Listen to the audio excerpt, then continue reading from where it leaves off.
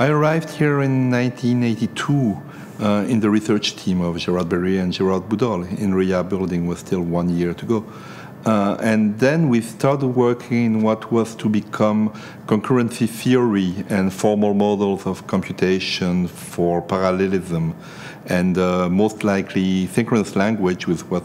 was to become uh, the Esterel language that became quite famous. And so we had the feeling at this time that this was new topics, new mathematic objects that were to represent uh, programming language, programming re realities, and uh, programming uh, in a new fashion. And that was very, very exciting.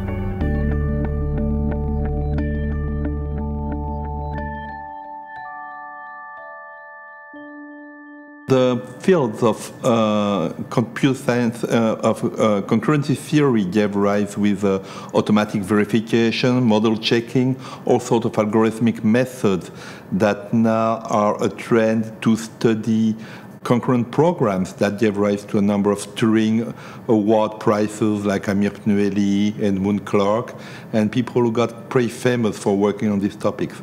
Now, I would say the new trends that happened in the 30 past years is that those theoretical models that were developed maybe before reality uh, were caught up by real machines and computer design, which now is producing more parallel architectures at the microscopic and uh, macro level uh, altogether.